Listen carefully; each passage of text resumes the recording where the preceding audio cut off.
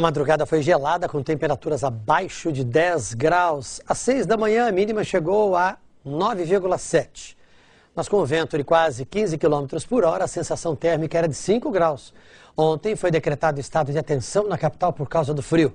E a Defesa Civil montou uma operação para atender moradores de rua em situação de risco.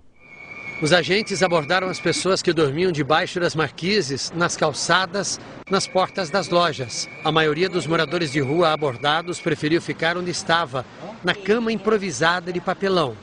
Este senhor aceitou ajuda e foi levado ao abrigo municipal.